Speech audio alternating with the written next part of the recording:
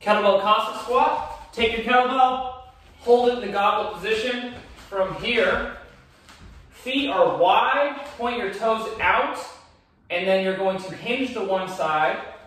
Heel comes, uh, keep the heel on the ground, foot comes up on the opposite side, and you're gonna face this way. Make sure your knees are tracking over your toes as you sit as deep as you can to this side. Come up, switch. Make sure again, knees are tracking over the toes. Stay as upright as possible. Get as deep as you can to this side. Just rotating back and forth. And that is a Cossack squat.